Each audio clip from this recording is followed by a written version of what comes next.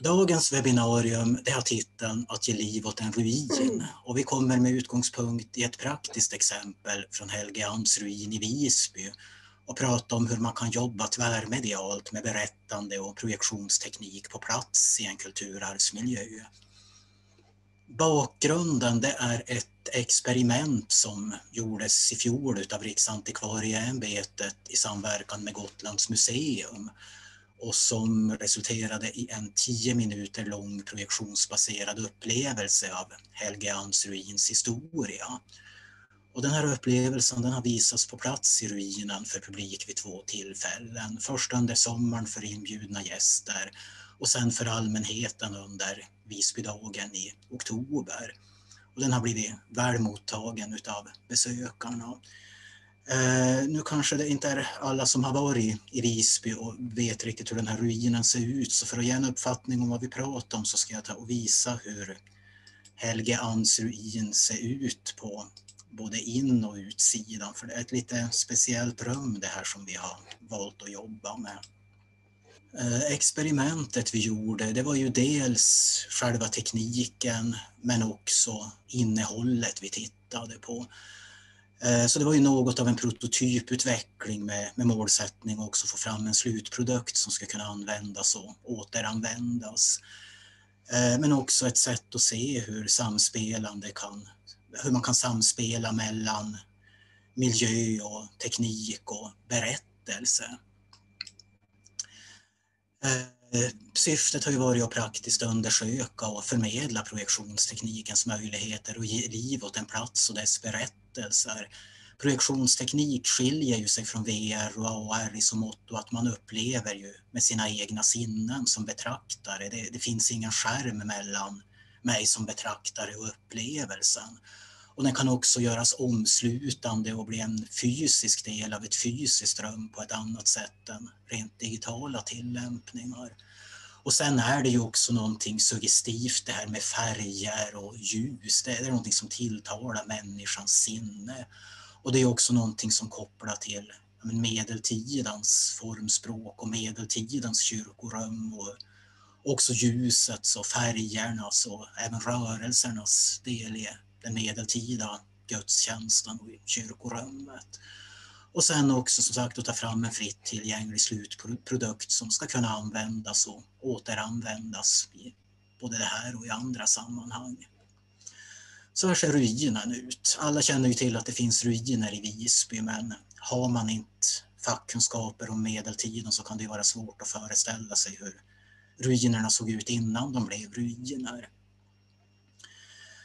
Eh, Helgeandsruin den var från början en kyrka byggd i början på 1200-talet. Idag anses det allmänt att den är identisk med den kyrka som nämns som eh, Sankt Jakobs kyrka eh, byggd på initiativ av biskopen Albert av Riga. Eh, 1226 omnämns den för första gången i skrift och då som en kyrka där pilgrimer och korsfarare kunde ladda upp sig på väg österut mot Baltikum och mot det heliga landet. Eh, kyrkan blev ruin efter en brand 26 april 1611 då också en stor del av norra Visby brann. Eh, de ekonomiska resurserna var slut, medeltiden var slut och därför fick den här byggnaden stå och förfalla och bli förråd och svinhus och ruin för att sen kunna återuppstå som turistattraktion och också en del av Visby världsarv efter 1995. Eh, kyrkorummet är ju lite speciellt. Den här västra delen av kyrkan till höger i bild är oktagonformig, den är rund, åttakantig. Och det finns ingen motsvarighet till det här, varken någon annanstans på Gotland eller i Sverige. Så här ser det ut på insidan inne i oktagonen. Den, är, den har inte bara en speciell form, den är dessutom byggd i två våningar. Eh, så att församlingen kan sitta på, på två våningar och sen ha de här våningarna ett gemensamt kor i den här västra öppna delen. Man ser den bortre, eller i, i den östra delen ligger koret, alltså västra delen. Vi står ju och tittar österut mot koret. Sen är det då ett hål i det här golvet, taket mellan våningarna där ljudet kan passera. Och det här var ju också bra med tanke på projektionsteknik. Det är ju inte bara ett häftigt och speciellt rum utan det är också lätt att mörklägga. Eh, nedervåningen och gräddhyllan står i förbindelse med varann med två trappor. Och eh, så här ser det ut idag, en trappa upp. Nu är ju taket som en gång fanns borta.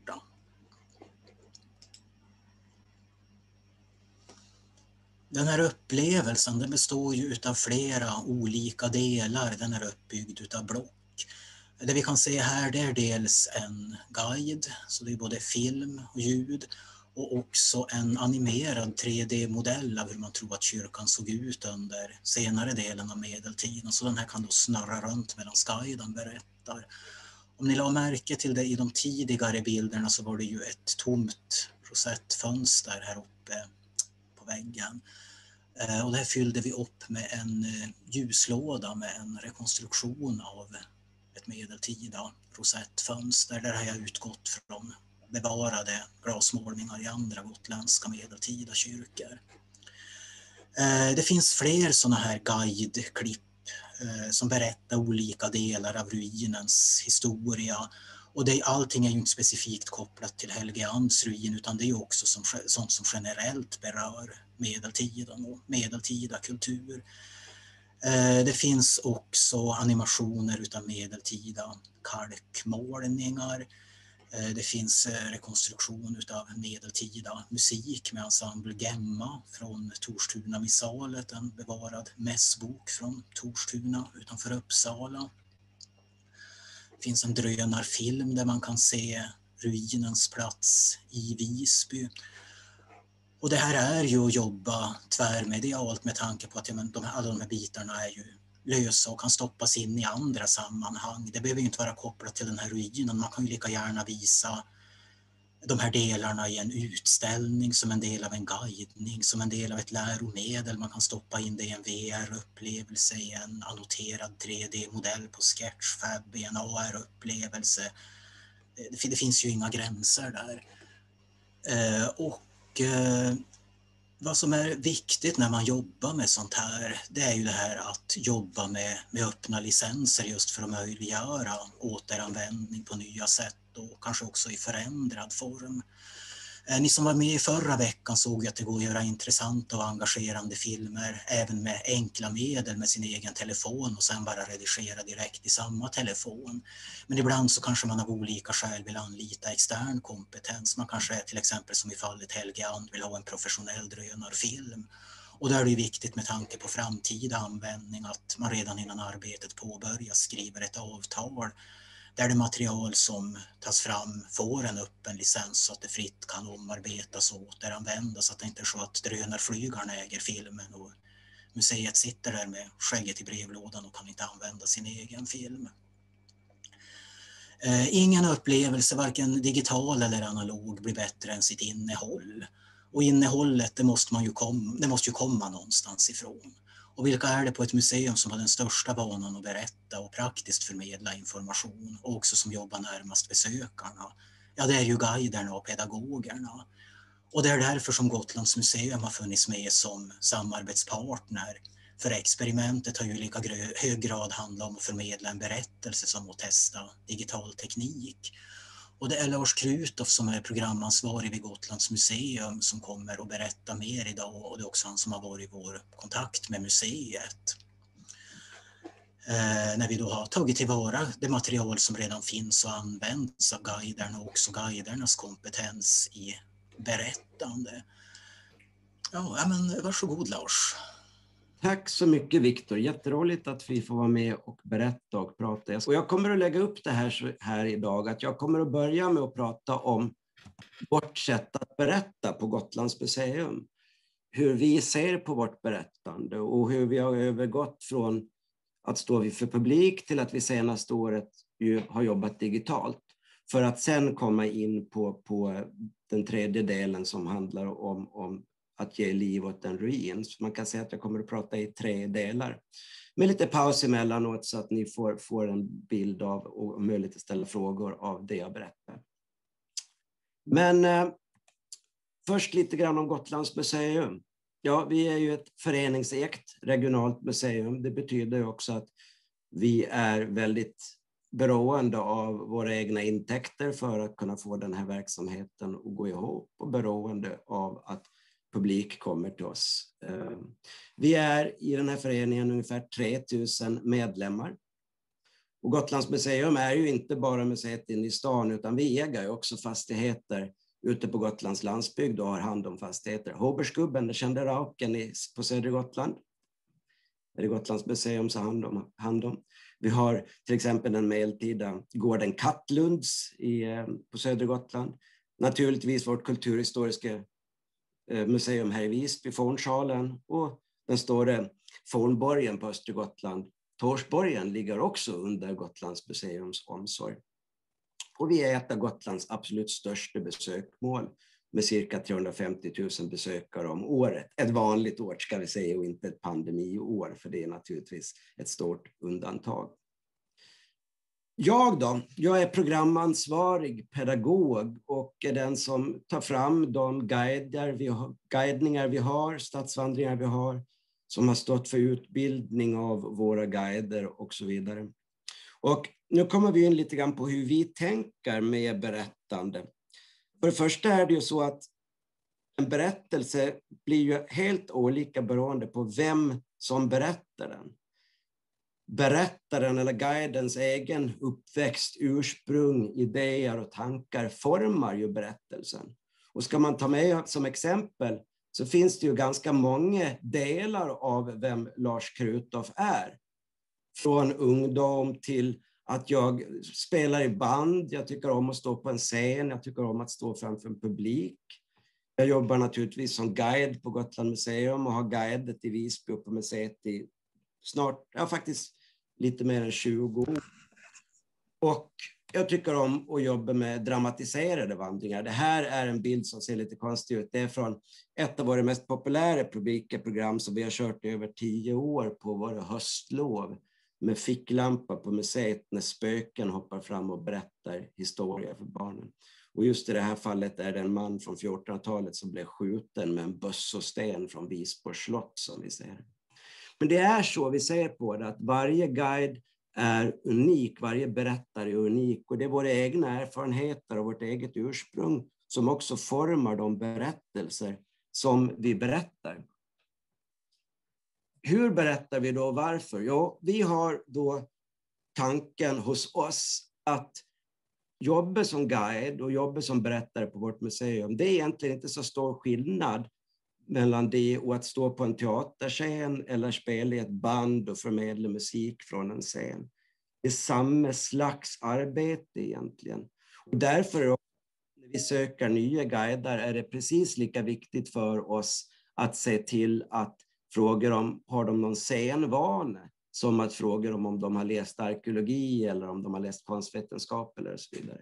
Så det här är någonting som är väldigt viktigt för oss. Och vi menar verkligen att när vi ställer oss inför en grupp, då är det en föreställning som pågår. Det är en föreställning vi ger för den här gruppen och då gäller det att vara på tå, det gäller att visa verkligen och ge allt i de här föreställningarna som de ska bli, för att de ska bli bra. Det är ju samma med ett, med ett band, om man går och ser en konsert så blir man ju ganska besviken om man känner att bandet inte ger allting. Eller en teatertjej, om man känner att det liksom inte klickar, då blir man besviken. Och likadant är det för oss när vi står och jobbar. Vad kännetecknar en bra guide då? För det här har utvecklats på de tid som jag har jobbat, 20 år, så har det här utvecklats väldigt, väldigt mycket. När jag gick mina första guideutbildningar, då talade man inte överhuvudtaget om pedagogiken, utan det man pratade om, det var att man skulle sitta och läsa en massa luntar med historia för att kunna ha, ha, ha det att berätta. Men ingenting nämndes om pedagogiken, förutom en sak. Det enda råd jag fick, det var att det var en fördel om guiden var gammal officer eller lärare, för då har man möjligheten att prata högt och starkt så att alla hör. Och det kan ju vara bra i sig, men idag inser vi att det krävs väldigt, väldigt mycket mer av en guide än att kunna prata högt och tydligt så att alla hör. Men så har verkligen förändringen blivit sedan jag började på de här 20 åren. Nu håller man ju berättandet och förmedlandet väldigt högt på museerna, men, men det är en ganska lång väg tycker jag som vi har gått. Jag tycker att man pratar väldigt mycket om när föreställningen, att den ska ha ett tydligt slut. Men jag känner att det här är ju en föreställning som jag sa. Och en föreställning ska ha en tydlig början och ett tydligt slut. Vi står på en scen och vi förmedlar en berättelse. Och det gäller att vara i den här guide-rollen hela tiden. Det börjar inte när man börjar förmedla historia, utan det börjar redan med det första intrycket gruppen får när de möter oss. När de första börjar anleda, då är vi redan i den här rollen och i den här föreställningen. Eh, och det är ett ganska bra tips tycker jag för nu unga nya guider som ska börja tänka så, därför att det blir alltid svårare om man först står och visar att man är nervös och så vidare och sen kör man igång och pratar. Det gäller att ha den här pondusen från början så att säga. Vi tycker också att det är väldigt kul att dra nytta av gruppdynamiken och det kommer jag komma återkomma till. Varje grupp är ju unik och i den så finns det en dynamik med olika inslag som gör att den här dynamiken förändras. Och kommer vi in som guide i en sån här grupp, även om de känner varandra innan, om det är ett företag eller så vidare, så kommer vi att ändra dynamiken i den också. Väldigt små förändringar kan som jag ser det ge stora skillnader i vilka signaler vi sänder ut och vad vi får tillbaka. Till exempel upplever jag att om jag väljer att ha en mikrofon på mig när jag står inför en grupp, då får jag mindre interaktion tillbaka. Därför att då sänder man ut att det är den som har mikrofonen som pratar. Och då får man mindre frågor till exempel. Det är samma om man väljer att ställa sig uppe på en scen eller så vidare. Då får man också, får man också mindre frågor tillbaka därför att då är det den som står på scenen som pratar. Det här är bara två exempel, men det här tycker jag är viktigt att tänka in, eller vi tycker att det är viktigt att tänka in det här, att alla de här sakerna man gör, små förändringar, de ger ganska stor skillnad i, i inputen, vad vi får tillbaka från våra, våra besökare. Och när jag trivs allra bäst, det är när jag står med en ganska liten grupp, det här är ju en extremt liten grupp med kanske 20 personer, där vi har möjlighet att inte behöver använda mikrofon och där vi har möjlighet att verkligen ta in gruppen och jobba dynamiskt med gruppen. Det är då jag tycker att man får som allra bäst resultat egentligen. Jag tycker också att det är viktigt att förstå att vi är i liksom inte centrum av världen heller. Vi guidar på en turistö. Här händer det väldigt, väldigt mycket när man är på Gotland. Och det gäller också att tänka in det att vi faktiskt ofta är en parentes. Våra guidningar är någonting som sker mellan stranden och glassmagasinet i Visby hamn. Eller mellan arbetskonferensen och kvällens trerättersmiddag. Och flera av deltagarna i de här bokade grupperna, de upplever kanske innan de kommer till oss att de har inte något historieintresse på det viset. De kanske till och med drar en suck när de får reda på den här överraskningen att nu ska vi gå en visning på museet innan vi går vidare till middagen. Och vi som står där, vi blir ju ansiktet utåt för inte bara museet utan även för Gotlands historia. Därför att det är guiden man kommer ihåg. Valdemar Atterdag och alla årtal och så vidare, det är lätt att glömma. Men guiden kommer man ihåg. Och då menar jag att genom att ge en underhållande historieföreställning där vi visar att det här, det är det absolut roligaste som finns. Det här är det absolut bästa som finns. Genom att ge en sån bra föreställning, då kan vi skapa minnen och då kan vi vara folkbildande. Då kan vi se till att de tar med sig någonting av historien hem. Och det kan också leda till att en guidning med museets guidning med museets guider blir självklarhet nästa gång man kan komma till Gotland med familjen. För då har vi skapat intresset och vi har visat att det är spännande att komma till oss att få en visning och få en guidning. Och av nyfikenhet och intresse så kommer folk tillbaka. Eh, ska vi ta en liten paus där och sen kolla lite grann, har vi några frågor och några tankar där så länge? Ja då, det har kommit in lite grann här. Ehm, dels så har, vi, har det varit lite diskussion om det här med mikrofon eller inte och eh, tillgänglighetsaspekten kring det. Ehm, och just det här ehm, att det kan vara svårt, att man interagerar mycket dåligt med en guide som man varken hör eller ser. Men jag upplever, vill, vill du kommentera någonting kring Nej, men visst är det så. Det håller jag helt med om. Det jag försökte visa med det här, det är just att varje liten förändring, ibland är man tvungen att ha en mikrofon, absolut. Men det det visar bara är att varje liten förändring faktiskt ändrar förutsättningarna. Mm. Med, med det jag vill berätta, absolut. En mikrofon kan, kan absolut vara en stor fördel i vissa grupper. Mm. Jag vill bara peka på att, att alla små delar som vi gör ger en förändring alltså i, i inputen. Mm. Jättebra. Jag fick också en fråga. Hur möter ni de som har ett stort intresse för historia? Absolut. Nej, men de möter vi på, på, på samma sätt med samma sätt att berätta. Men de är ju lättare att vinna så att säga. Jag ska återkomma till det. Eh, men, men det är ju de som kanske inte är intresserade. Har vi lyckats med det, då är det ju naturligtvis då är det ju naturligtvis eh, en extra fjäder i hatten så att säga. Va? Men självklart så, så bemöter vi ju alla och det här ska ju vara visningar för alla. Det är ju viktigt att man når alla i gruppen. Det är ju det det handlar om egentligen. Mm. Och sen var också en reflektion här eh, som förstärker lite det du sa, att nu i pandemitider är ju maxantalet sju deltagare även utomhus i en väldigt exklusiv atmosfär, viktigt att belysa. Mm. Det kändes som du var inne på, på det där också. Mm. Eh, sen var det, det sista vi kan ta med här är väl att eh, det var en uppmaning om det var någon som har bra länkar till forskning angående värdet av denna typ av berättande och då pratar vi om eh, så, så, får man gärna dela med sig av dem i, eh, i chatten. Absolut. Så, eh, jag kommer vidare så fångar vi upp mer sen. Ja. Viktor? Eh, nej, jag tänkte säga att jag kommer också dela länkar i chatten till eh, Riksantikvarieämbetets sidor där det också finns länkar vidare. Absolut. Um, det är ju också så när man berättar så här om hur, hur vi guidar, då kan man, kan man fråga sig också, men berättar vi då lätt och enkel historia så att alla ska bli nöjda och det ska vara underhållande och så vidare. Det behöver man absolut inte göra. Man kan beröra både lättare och svårare ämnen. Men vad jag försökt säga det är också att det är väldigt, väldigt viktigt hur man berättar det naturligtvis. Och, eh, jag har med en bild här på, på, på min absoluta förebild vad det gäller berättande. För är man bara en skicklig berättare, då kan man ju läsa en instruktionskatalog till Siemens tvättmaskiner till och med och få det att låta intressant.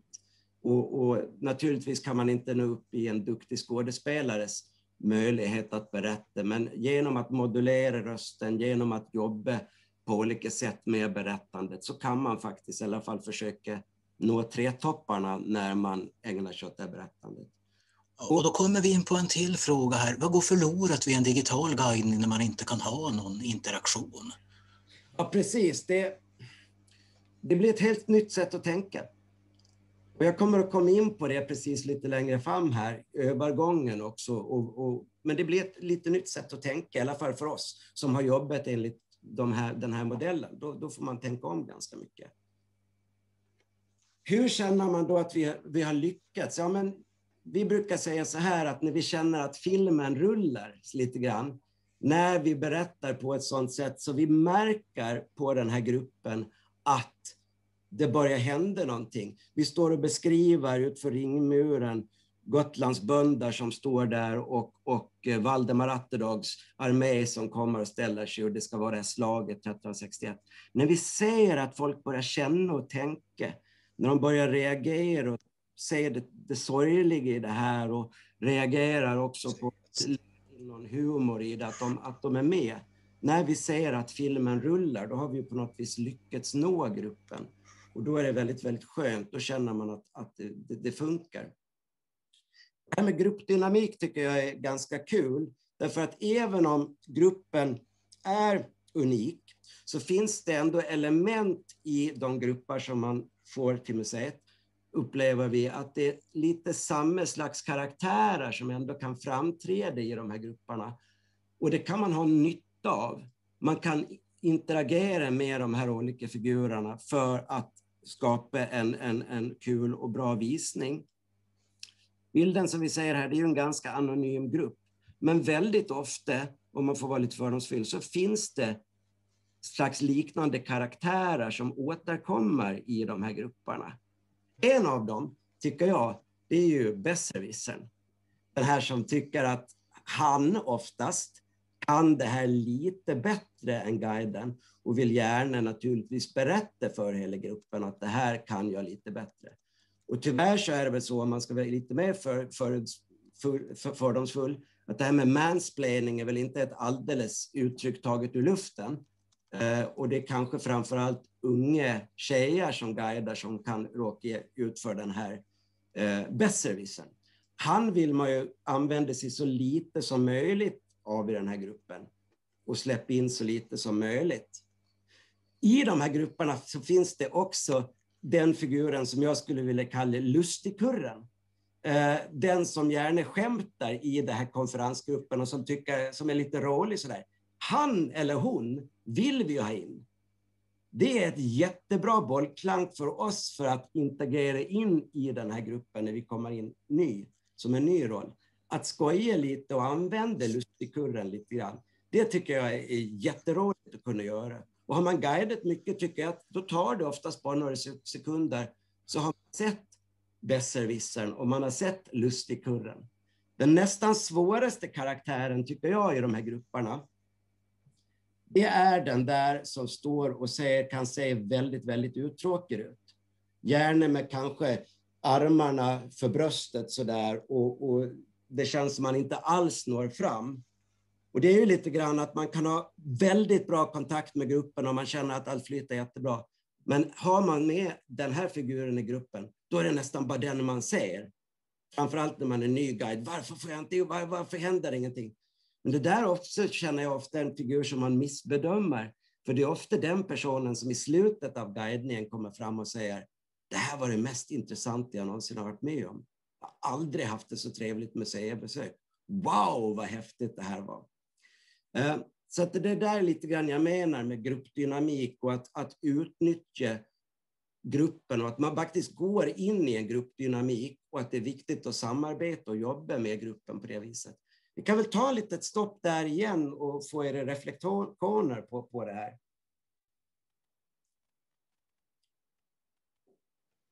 Ja. Vi fick en väldigt intressant fråga här. Var, eh, har besökarnas fokus förändrats genom åren från att gå från att önska en guidad visning till att mer gå över mot eget lärande då det digitala mer och mer tagit över? Är guiden lika viktig idag som för tio år sedan? Ja, men jag tror det. Därför att jag tror, tittar vi tillbaka på hur människan fungerar så har berättaren alltid fyllt en väldigt, väldigt viktig roll. Och författaren tror jag aldrig kan ersättas. Eh, men, men berättaren kan ha hjälp av det digitala. Berättaren kan utnyttja det digitala och det kan bli ett hjälpmedel till, berättare, till berättandet.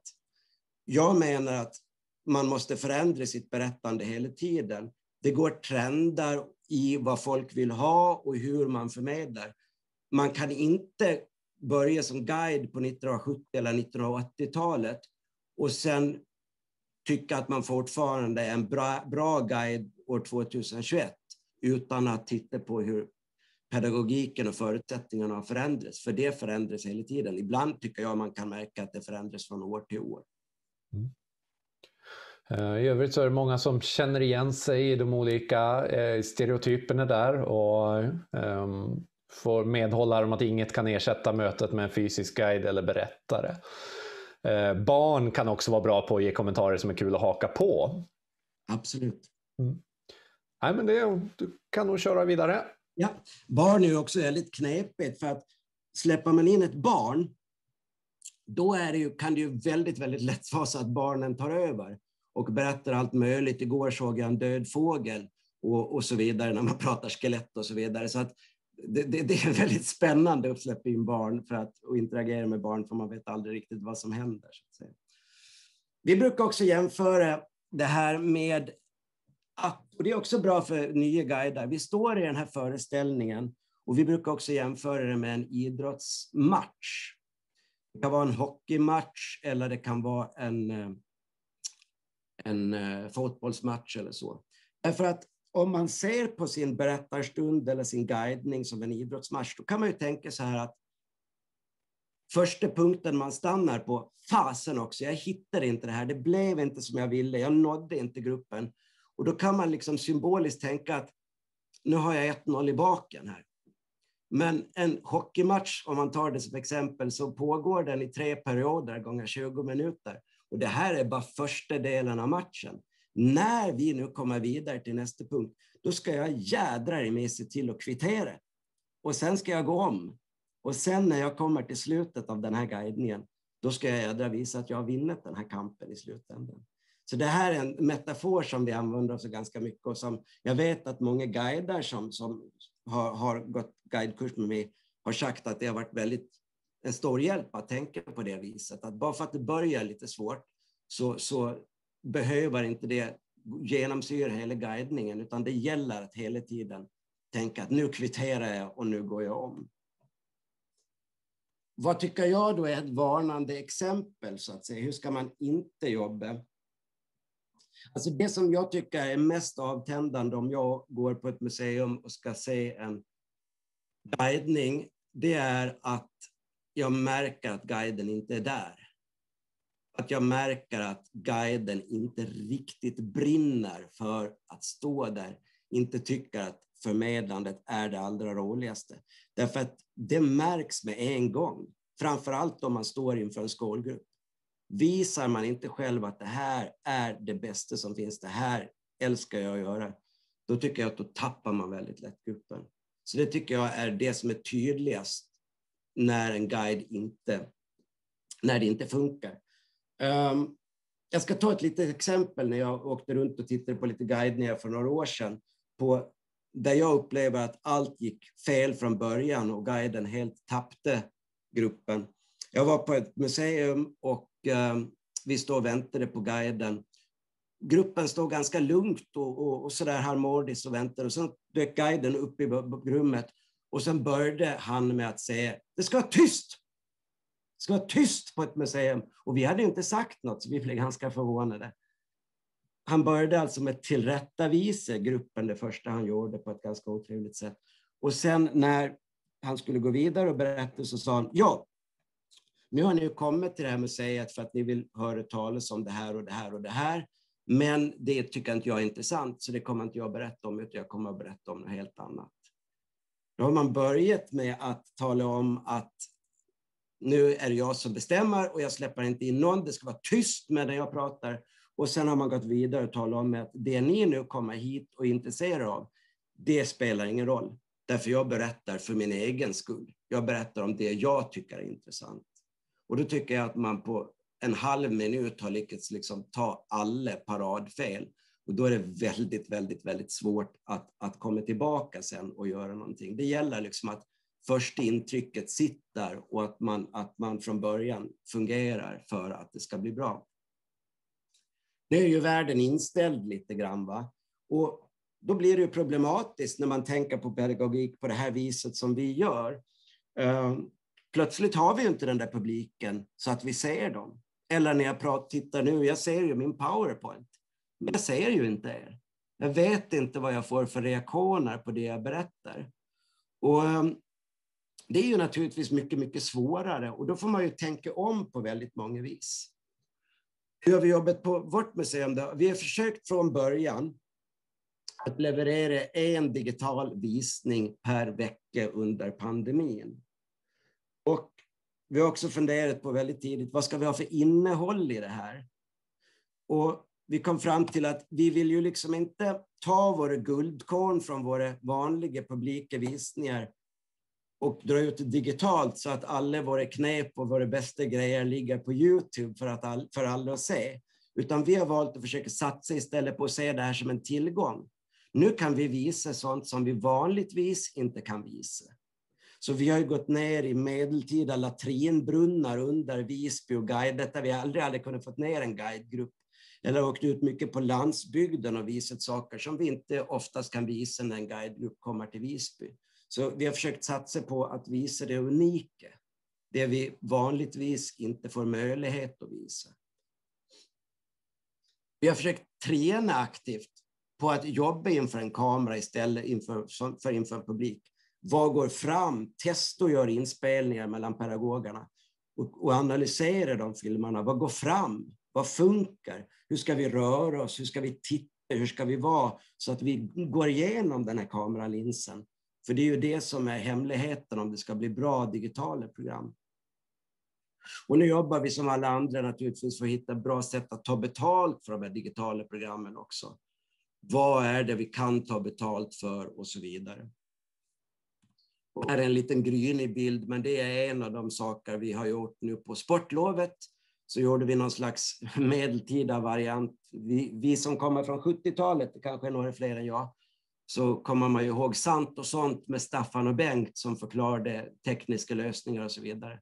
Och vi hade en medeltida version, Sant och sånt, med Båtar och Båtulf som berättade om hur lammet blir en skjortel och hur vattenkraft fungerar och hur man båter ett tandverk på medeltiden och så vidare. På alla våra filmer så har vi swishnumret med nere i kanten och faktiskt så har vi ända, bara sedan i januari på de filmer vi har gjort, snart lyckats få ihop, vad jag förstår, nästan 20 000 i, i swishbidrag bara, vilket känns jätteroligt och jättebra. När man då gör den här omställningen nu så har vi ju haft en väldig fördel, för nu kommer vi in på Helgansprojektet. Precis ett år innan fick vi ju testa att jobba framför kamera och jobba framför en kameralins när vi gjorde det här projektet. Så det känns som att vi hade väldigt, väldigt nytta av det när vi skulle slå över till vårt digitala, vår digitala plattform. Och nu kommer jag komma in på det, men innan jag gör det tänker jag att nu tar vi lite frågor och lite tankegångar igen. Ja, vi har väl inga direkta frågor tror jag här. Det har varit lite eh, diskussion kring det här med årtal och det var någon som skrev det att varnande exempel i guiden som bara rabblar årtal och berättar inte lika som en fotnot kan man lika gärna Absolut. få ett papper att läsa till. Ja. Mm. Eh, kul idé med swishnumret och superbra tips och så. Ja, här, guidar ni något digitalt i realtid eller bara filmat? Vi guidar i realtid. Vi har börjat sälja nu för, för bokade grupper, både föreläsningar och guidningar, stadsvandringar, där vi bara bjuds in i ett Zoomrum och går runt med en gimbal. Och där fick vi också väldigt bra lärdom, för vi gjorde sånt här på den digitala medeltidsveckan, eh, där, där vi fick en jättebra träning och där medeltidsveckan läste det här på ett fantastiskt sätt. Så där har vi låtit oss inspireras verkligen och kunnat få igång den verksamheten. Så, så det gör vi. Och det är framför allt i början det vi kommer att ta betalt för. Vi tror att det är det som kommer att vara lättast att ta biljett för. Det som sker live, det som, där man har möjlighet att möta någon, ställa frågor och så vidare. Vi tror att det kan vara en av hookarna till att kunna ta betalt. Mm. Ehm, fråga här också, använder ni mobilen för live-guidningar? Ja, mm. det gör vi. Vi har köpt in myggar. Eh, trådlösa myggar som vi kopplar till mobilen och sen sänder vi med den. Mm. Och det tyckt fungerar bra faktiskt. Om man går in på vår Youtube-kanal och på vår hemsida så kan ni ju se mycket av de filmer vi har lagt ut där så att ni kan få en bild av hur vi jobbar också. Mm. Fick här också frågan, hur löser ni streamingproblemen genom Zoom? Och jag antar att det har med att det kan vara svårt med täckning och tillräcklig ja, kapacitet. Det har, funkat, väldigt bra hittills. Vi har inte haft något problem. Och vi har också gått vandringarna innan för att testa lite grann. Funkar de här platserna att besöka och så där och gjort mycket sådana tester. Men vi har planer framåt för att koppla upp oss mot en streamingtjänst så att det ska fungera bättre. Jag tycker, jag har kollat jättemycket sista tiden på vad Kalmar museum gör med sina livevisningar. Och det är verkligen ett tips att gå in och kolla. Jag tycker det är föredömligt bra gjort. Eh, så att vi kommer att försöka låta oss inspireras av dem. Mm. Fick också en fråga här. Hur göra när ingen i vår lilla personal riktigt är bra på att guida? Ja, men jag tänker att, att eh, när man börjar spela gitarr så är man inte särskilt bra på att spela gitarr. Eh, jag tänker att med tips och råd så kan man faktiskt bli väldigt bra på att guida. Jag brukar säga att det gäller att hitta sin inre guide. Det låter som jag är någon slags buddhistisk munk när jag säger det, men det gäller att hitta sitt sätt att guida. Alla guidar inte likadant och det finns en styrka i det. Det är ju våra erfarenheter, den vi är, som gör den guiden och det gäller att hitta allt det här i mig, de här knutarna och säga hur ska jag kunna förmedla på ett bra sätt utifrån den jag är för att det ska bli bra och intressant. Och det där, det är liksom ingen... Eh, Eh, det är inte så att det är några få som går igenom en kamera och några få som kan guida och de andra ska låta bli. Utan det här är någonting som jag menar att man kan lära sig och träna på. Mm. Eh, fick också två frågor här. Eh, det ena var, vad är en gimbal? Och sen en fråga om ni använder zoom vid de här gimbal-guidningarna. Det är så skönt för att innan det här året så var jag så enormt teknikfientlig så jag kan sitta och skratta lite åt att jag sitter och pratar om det här. Men gimbal det är ett sånt här handtag som man sätter i så att steadicam för en mobil kan man säga och där man också kan styra kontroll, zoomning och så vidare med en app så att, så att det funkar in i, i, eh, i mobilen. Eh, så att det är vad en gimbal är. Vad var mer frågan? Där? Eh, om ni använder Zoom när ni guidar sån? Ja, vi har använt Zoom och vi för, har föredragit att vi bjuds in i ett Zoom-rum därför att det är svårt för oss att både guida och sköta chattrum och sånt där och se till att mickar av. Så vi har gärna sett att gruppen bjuder in oss i ett Zoom-rum där de har en administratör som också kan sköta lite det tekniska. Mm. Jättebra. Eh, snabb sista fråga då. Eh, hur många guider eh, slash pedagoger är ni på Gotlands museum och gör ni själva redigering och klippning? Ja, vi gör själva redigering och klippning. Vi har en väldigt duktig kommunikatör, Nina Lund, som har filmat mycket av vårt material och som har klippt och jobbat med det. Vi är två anställda pedagoger, jag och min kollega Jeremy Hardy. Och vi ehm, ska nu faktiskt också gå en liten kurs nästa vecka och klippa film och så vidare. Så att vi kommer att lära oss det här också. För att ha en stabil digital plattform framåt så måste vi vara fler som, som kan. Eh, det är jag och Jeremy som är anställda och sen har vi ett antal externa guider. Så sammanlagt uppgår vi på en guidestyrka på ungefär 20 personer. Jättebra. Vi kör vidare så ja. många fler här sen. Då kommer vi till Helgansprojektet då, eller att ge liv åt en ruin. Och det här har ju varit otroligt roligt och verkligen en ynnest att vi fick vara med i det här projektet som Riksantikvarieämbetet startade för att få lära oss att arbeta med den här tekniken. Det har varit grymt häftigt och jag är så tacksam för det. Och vi hade som sagt var mycket hjälp av det också nu när vi började vårt digitala arbete. Viktor har redan nämnt ruinen. Eh, den här oktagonformade kyrkan som, som, som vi ser framför oss här nu. Och här är vi ju verkligen i ett nytt läge.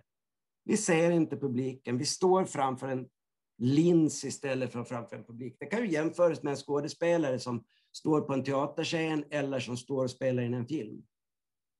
Man vet liksom inte riktigt hur, hur, hur bifallet är på andra sidan, utan man famlar lite mer och man jobbar på ett lite annorlunda vis. Eh, vad som också är intressant när man står framför sådana här green screen, det är ju också att när man har väl skrivit det här manuset och det ska ske projiceringar runt omkring så ska man inte bara prata utan man ska peka i olika väderstreck och sen ska det dyka upp grejer. Och det gäller att ha tanke på allt det där när man, när man gör inspelningen också så att man inte pekar åt fel håll och att man står vänd på rätt vis och så vidare. Så det var, det var en utmaning och väldigt, väldigt spännande. Sen det är lite också inför det här projektet, vad är det, när har vi som mest nytta av den här typen av teknik? Och jag tänker att berättandet i sig är det viktiga för mig, hur vi berättar och hur vi jobbar och att vi förmedlar den här föreställningen. Men jag tänker också att det här är hjälpmedel och kanske hjälpmedel som egentligen fungerar bäst när vi har en plats som inte är synlig för våra besökare en arkeologisk plats där kanske det fina och spännande finns under marken och inte syns. Eller en kyrkoruin där man vill berätta om hur färgskiftaren har varit med bladguldsklädda Mariabilder och målningar och, och, glas i färgat glas i fönstrar och så vidare. Och man vill förmedla kantornsång från koret och korskranket och allt det här som är en medeltida kyrka, sidoaltar och allt sånt där. Det kan vi liksom använda den här tekniken till för att hjälpa till att få den här inre filmen och så börjar besökare snurra. Och det tror jag är den viktiga delen. Det är där vi kan vinna med den här tekniken utifrån, som jag ser det i alla fall. Det är där vi kan ha mest nytta av den. Jag ville ju att vi skulle vara i Helgans ruin när vi gjorde det här eh, experimentet. Och det fanns lite olika tankar från min sida med varför Helgeands ruin var den bästa ruinen att jobba i. Den är utbyggt, uppbyggd som en oktagonform och det blir lite som en teaterscen, ett naturligt rum att vara i. Och eftersom man står i en oktagon kan man också då visa filmer och projektioner, inte bara rakt framifrån utan även på sidoväggarna. Man kan liksom använda hela rummet på ett bra sätt. Det finns mycket bevarade väggar och tak som skyddar den här upplevelsen från blåst och från regn och så vidare. Man står ganska säkert och torrt i den här ruinen. Ovanstående, det gör ju också att den är lätt att mörklägga. Det funkar att, att, att för det är naturligtvis, ska man projicera så är det viktigt att kunna mörklägga. Vi har faktiskt använt projiceringar lite innan det här också, innan pandemin. Vi köpte in en liten sån här digital, eh, eller en liten projektor som inte är större än, än nästan en kvadratdecimeter eh, som vi har haft med oss ut på vandringar och kunde visa bilder på väggar inne i ringmurens torn och så vidare. Eh, så det där har vi jobbat lite tidigare och jag hade tanken just på att det måste kunna gå att mörklägga. Och framför allt, den här ruinen bär på en spännande och skiftande historia med väldigt många nya intressanta rön. Bland annat att vi idag inser att det här inte är den gamla Helgeandskyrkan i Visby, utan det är troligtvis Sankt Jakobs kyrka. Att det har blivit ett missförstånd kring det här under åren.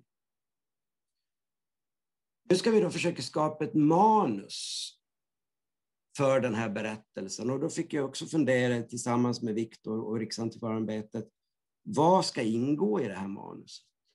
Vad vill, vill vi ha med? Jo, vi vill ha med hela historien.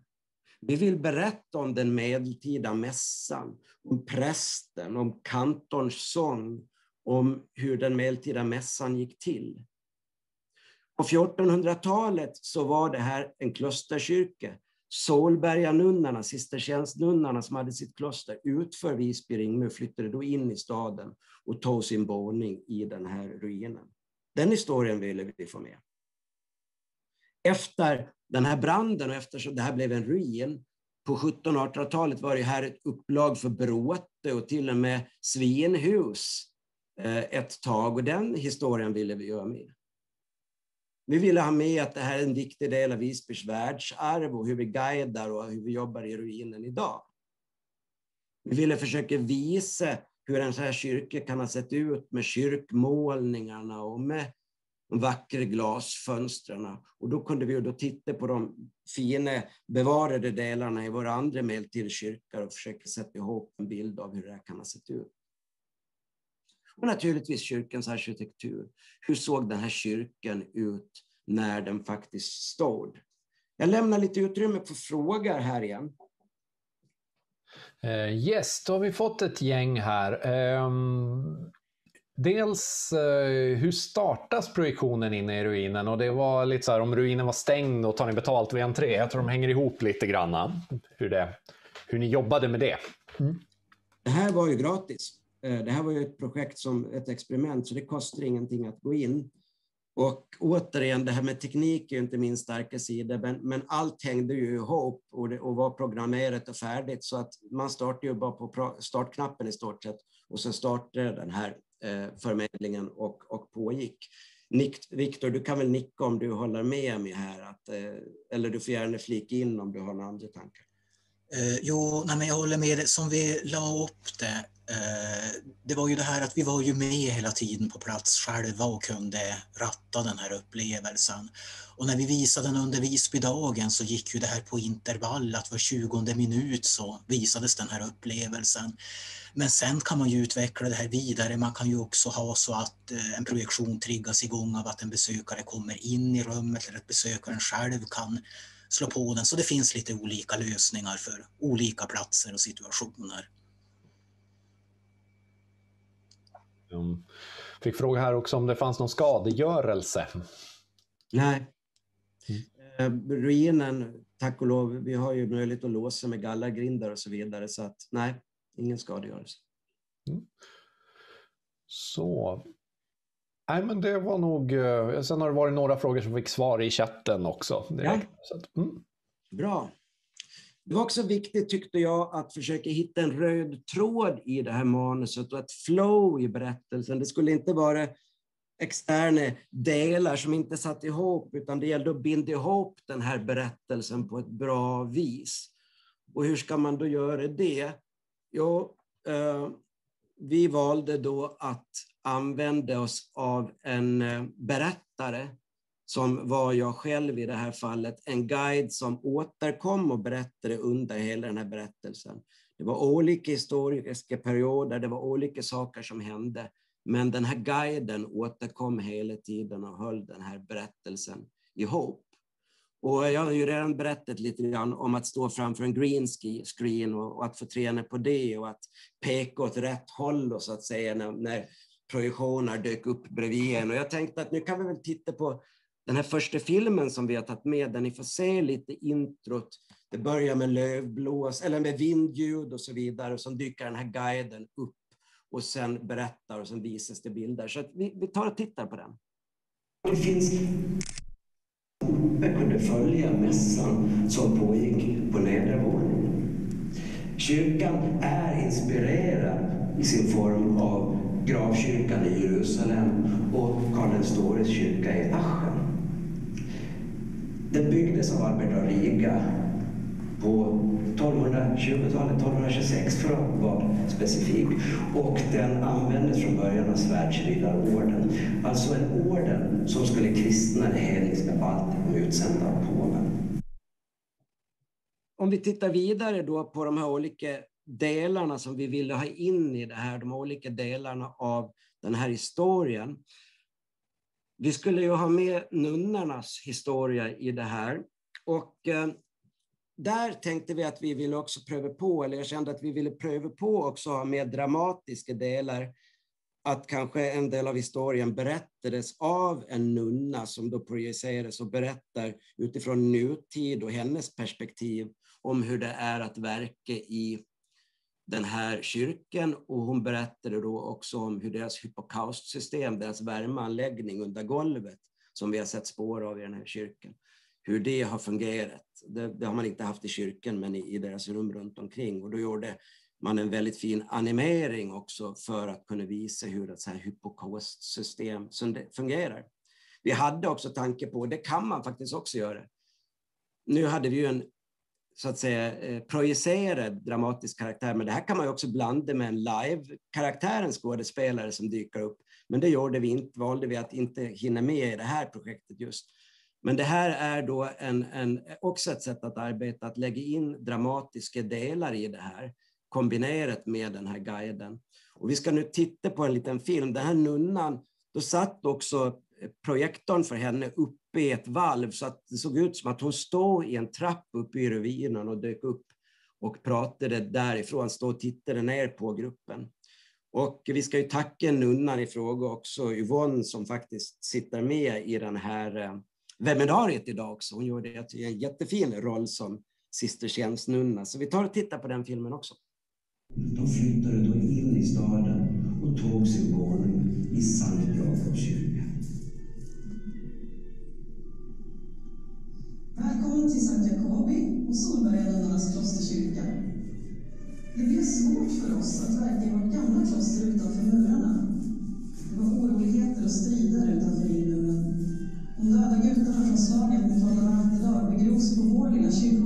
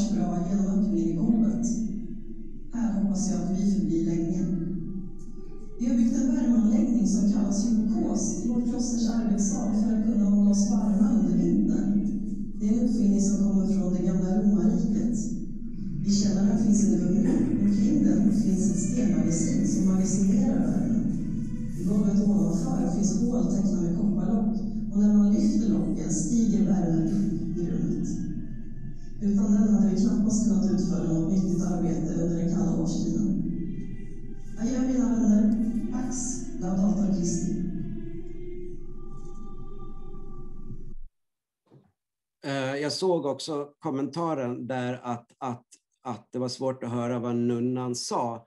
Eh, och, och eh, det här är ju en direkt inspelning från, från eh, eh, en sån här föreställning som vi hade då. Och det gör ju att då tas det upp det här rumsliga ljudet av, av um, um, ruinen och så vidare. Och det var ett väldigt skarpt och bra ljud på plats. Och det här var ju mer för att visa lite grann den olika tekniken, hur vi, an, hur vi använde den. Så att ljudet var ju väldigt, väldigt bra på plats, ska vi säga. Ehm. Det här är spännande också för att vi kan jobba med flera olika sinnen. Vi kan jobba med ljud och vi kan jobba med projektioner och man kan faktiskt jobba även med lukt. Därför att man kan ju ha doftaggregat och på så vis skicka ut rökelsedoft eller liknande. Eller man kan eh, också använda andra typer av doft, kanske live-dofter, att man har ett rökelsekar som brinner eller kanske jag funderar på att köra in en skottkärra med gödsel, för jag tyckte att det kunde vara bra med lite gödsellukt också. Så långt kom vi inte, men man kan använda det sinnet också. Och det är det som är kul i en sån här immersiv upplevelse, att använda flera sinnen hörseln och synen och kanske till och med använder näsen när man, när man, eh, eh, när man berättar.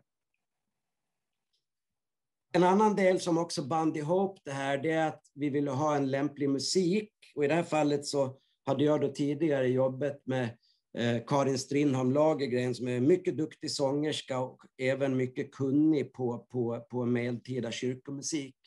Så att Eh, vi fick då köpa in eh, en inspelning när hon sjunger ur det här Torstuna missalet.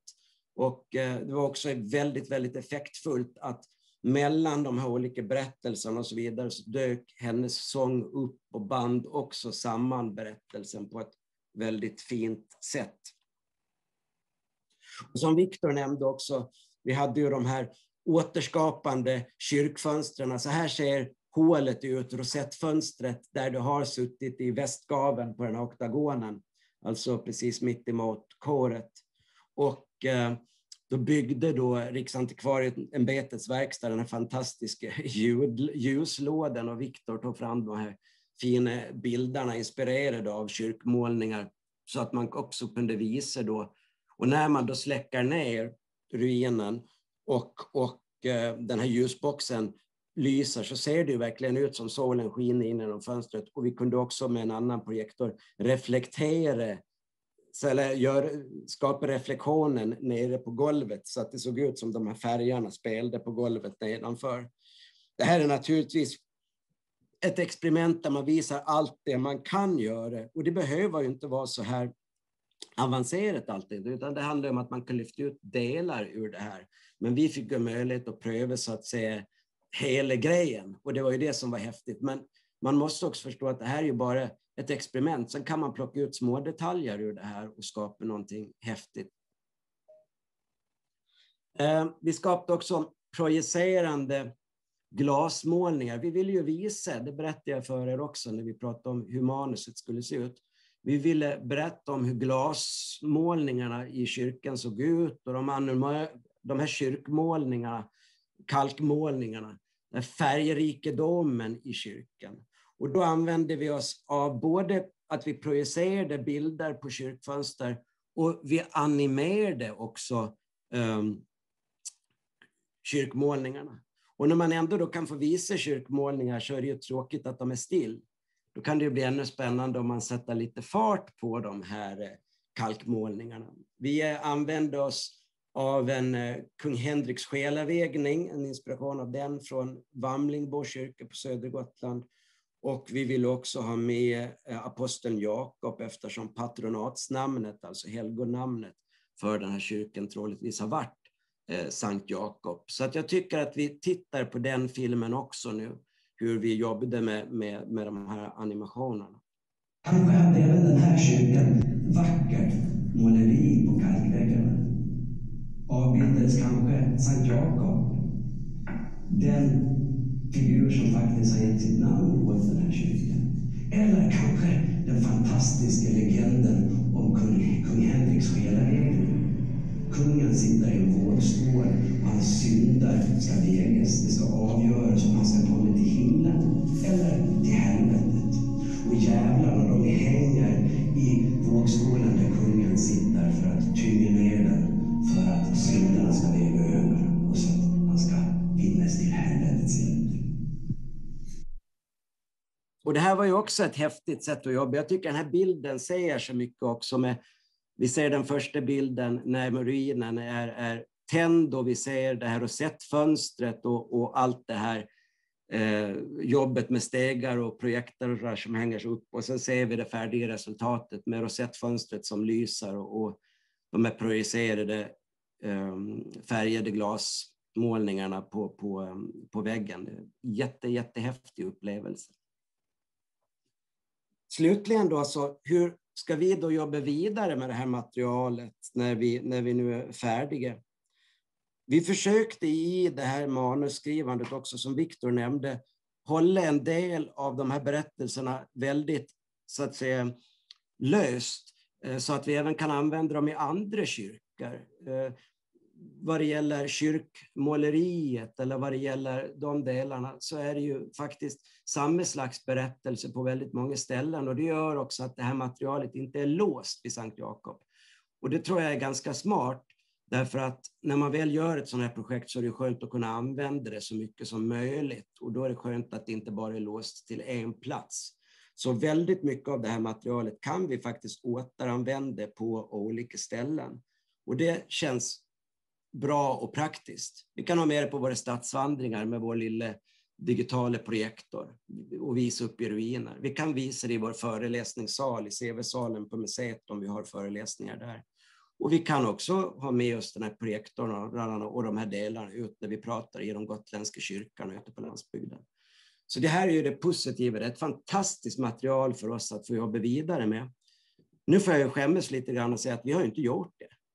Men det beror inte på någonting annat än att strax efter det här projektet så kom ju pandemin och det har ju hindrat oss. Men vi har alltså planer på att jobba vidare med de här delarna efter och kunna använda det här.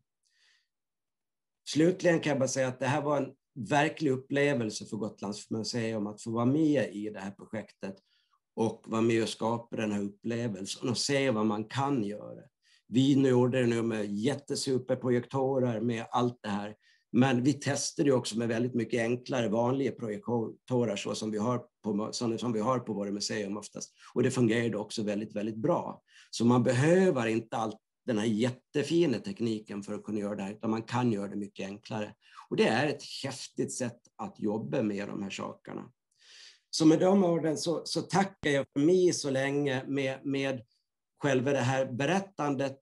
Och så tänker jag att nu tar vi frågor och funderingar resten av stunden här. Ja, då plockar vi upp Viktor här också. Eh, för vi eh, har fått några frågor här. Jättemycket positiva, eh, positiva omdömen här och, och det här med animationerna upplevdes ju väldigt spännande och roligt och, och snyggt. Fick en fråga här. Ur ett internationellt perspektiv så är detta intressant och de flesta inte har möjlighet att ta sig till den medeltida staden Visby fysiskt. Hade ni någonsin, eller har ni, planer på att digitalisera utrymmet och genom fotogrammetri visa en intressant och vacker plats både på skärm och VR? Jag vill, tänker ni kanske båda vill ge någon input på det? om jag börjar, eh, nej vi har inte haft några, några sådana planer, men jag håller helt med om att, att ehm, jag håller helt med om, om, om det. Vi märker att vi får det. Det tycker jag är fördelen med det digitala. Att nu kan man ju gå stadsvandring när man sitter i Stockholm. Eller vi har till och med gjort en stadsvandring till afrikanska länder, en bokad stadsvandring där vi guidade folk som satt i Zimbabwe och Kenya och så vidare och gjorde en stadsvandring i Visby. Det är det som är det häftiga med, med det digitala. Men några så här planer har vi inte pratat om, Viktor, eller vad säger du? Nej, alltså det pratas ju egentligen om det här hela tiden på Riksantikvarieämbetet, att de här frågorna kommer ju upp och vi får ju också in dem från museer och institutioner. Eh, så att jag, jag tror att folk är medvetna om den här möjligheten. Sen på Riksantikvarieämbetet, vi, sit, vi jobbar ju inte riktigt så att vi sitter och gör sådana här färdiga produkter utan det är ju mer att ja, men vi, vi hjälper institutionerna att komma igång med egna produktioner. Jag fick en fråga här om ungefärlig tidsåtgång för förberedelser, digitala arbetet och installering. Det där har du väl, det där har väl du lite, lite koll på Viktor, visst är det så? Eh, det har jag koll på och för att jag ska behålla kollen ska jag till och med ta och dela min eh, skärm och visa lite siffror. Det är ju alltid svårt att ge en exakt beskrivning utav tidsåtgång och sånt här att jag menar, mer, den stora kostnaden i ett sånt här projekt, det är ju egentligen inte tekniken i sig, även om den också kan vara dyr, utan det är ju all tid som går åt. Här är förresten en rörlig 3D-modell av 1200-talets kyrka. Det här var lite roligt. Eh, det här är en fysisk modell som står i Gotlands museums magasin och samlar damm. Den är väl byggd någon gång på 70-talet när det var inne att bygga sådana här modeller. Så med hjälp av eh, fotograferna på museet så har vi gjort en 3D-modell via fotogrammetri. Och den här kan man ju ha snurrandes på en webbplats eller i ja, en VR-upplevelse i en projektion på annat sätt. Så det är ett trevligt sätt att återanvända fysiska modeller. Men det var inte riktigt det jag skulle prata om utan jag ska ta och bläddra fram till rätt slide där man ser den aktuella, alltså det här med kostnaderna. Ni, ni kan ta någon annan fråga, men sparar vi lite tid medan jag bläddrar. Uh, yes, um, kan tipsa lite grann om att det uh, har postats några länkar i chatten här och uh, de, även prototyp där återanvänder materialet till en virtuell rundtur så att där finns det lite att kika på. Där en fråga var, detta hade jag velat uppleva, återkommer det? Fråga. Nej, det, det, finns det ju inte några planer på, men det kommer ju återkomma i mindre skala för vi kommer ju använda det här. Men det finns i nuläget inget, eftersom det här var ett experiment för att testa hur det här fungerar så, så finns det ju inga planer på att det ska återkomma fler gånger. Mm. Eh, nej, men tid och kostnader, jag har rätt slide uppe nu. Eh, när man säger museets timmar för manus, bakgrundsmaterial och inspelning, 80 timmar. Sen animationer, där köpte vi den tjänsten och då är det 800 kronor timmen, 124 000 totalt. Men då är det många animationer. Då är det dels Sankt Jakob, det är Själavägningen, det är eh, hypokausten, det är en demon som kommer och knackar ner putsen på väggen i slutändan. Så det, det är ganska mycket som ingick i det där. Och alla animationer är ju också baserade på foton och då har jag inte räknat med timmarna jag har varit med kameran ute i gotländska kyrkor. Så, så, att så, så kan det se ut. Sen den tekniska utrustningen, om vi skulle ha hyrt alltihopa. Vi tog in offert från ett företag här på Gotland, då hade det kostat 304, 304 000 kronor exklusive moms för sex dagar. Men eh, ja, slår man ut det där över tid så blir det ju naturligtvis mindre kostnad per dag och det där beror ju också på ja, men hur många projektorer ska vi ha och hur ljusstarka ska de projektorerna vara? det är ju var, var, sätter man, var sätter man nivån? Här är ju kortheten tekniska utrustning som används. Jag menar, det här, det här var ju en ganska stor upplevelse. Det var ju verkligen på, på alla väggarna inne i oktagonen. Men man kan ju också projicera på bara en enda väggyta. Det här är första försöket vi gjorde med en ganska enkel projektor. 17 500 exklusive moms när den köptes in så det är ju en vanlig egentligen konferensprojektor vi har kört med och här har vi inte gjort någon mörkläggning i ruinen utan det här är mitt på dagen och man ser dagsljuset som faller in men ändå är det ju en hyfsad bild. För övrigt en glasmålning från koret i Lye kyrka så det är medeltid original. Vi fick en intressant fråga som jag såg som kan sticka emellan också med och det är mm. Hur lång tid tog själva föreställningen eller själva den här visningen då. Och där tänkte vi ju naturligtvis också till på att det ska vara spännande och intressant och det ska inte vara för lång tid och folk ska hålla upp intresset. Så jag tror den låg runt tio minuter någonstans där. Mm. Um, får också ett gäng frågor om filmen var textad. Nej, det hade vi inte möjlighet att göra eh, eftersom det här också var ett, ett, ett sätt att testa tekniken och så vidare. Det här är naturligtvis någonting som man måste tänka på när man gör sådana grejer för att tillgängliggöra för så många grupper som möjligt och så vidare. Men just i experimentet så hade vi det inte textat. Mm. Ehm, um, jättebra. Kan rekommendera er att läsa chatten sen för det har varit mycket, många positiva eh, sidor där. Se om det var något mer. Jo, om man vill se, det går faktiskt att se den här i 360 film mm. inspelad. Jag la in en länk i chatten till Riksantikvarieämbetets K-blogg och där finns det fler filmklipp och det finns också en länk till den kompletta filmade upplevelsen. Um, Just det, var här en fråga. Guidar ni bara på svenska? Och jag vet inte om det var relaterat till just den här eller om det var i allmänhet. I allmänhet så guidar vi. Vi har guidar på det på svenska och, på, på, på, på, engelska och tyska och franska. Vi har till och med, skulle till och med kunna guida på gutamål om det skulle behövas. Så att där har vi, har vi men, men just i det här fallet så var det ett experiment och vi körde på, på svenska. Men där kan man naturligtvis ha liknande grejer som vi har gjort ute vid Roma kungsgård, där vi gjort en utställning med också lite, lite animering av det gamla klostret. Där har vi en svensk röst och en engelsk röst och filmen kommer efter varandra, först den svenska och sen den engelska. Jättebra. När jag ändå sitter och bläddrar i presentationen så här ser tekniken bakom ljusboxen, fejkade rosettfönstret ut. Så jag har utgått från mellersta korfönstret i Klinte kyrka och sen är det här då printat på plast och så är det belysning bakom. Så här ser det ut. Och det är häftigt när ni bygger ihop det där när det består av plastbilhinkar från Biltema och så vidare. Det är, det är häftigt att det kan bli ett receptfönster tycker jag. Mm. Så tack till Lars och till alla deltagarna här. Och vi hoppas ju att vi också inspirerat och ja, visat exempel på vad som kan göras och att vi får se mer av den här typen av upplevelser i framtiden för att det finns ju uppenbarligen ett sug efter det. Och jag tror också att sådana här konstnärliga upplevelser, men det är inte bara berättelsen, det är också någonting sinnligt, någonting visuellt. Det är någonting som tilltalar besökarna och kanske också förmedlar den närmaste känsla vi kan få av medeltiden.